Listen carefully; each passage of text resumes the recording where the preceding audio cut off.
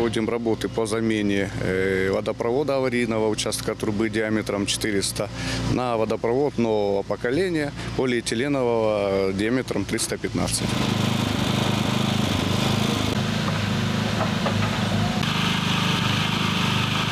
Трубы большого диаметра мы укладываем, 315 пластиковые. А для того, чтобы их спаять, необходима устойчивая теплая погода. Это у нас аварийный участок. С зимы мы не могли его устранить, он потихоньку постоянно у нас немного протекал. Мы приезжаем, хомуты ставим. Значит, э, проблема давнешняя, она уже лет там 7-8, как значит, 60 метров трубы мы заменяем на полиэтилен, была стальная.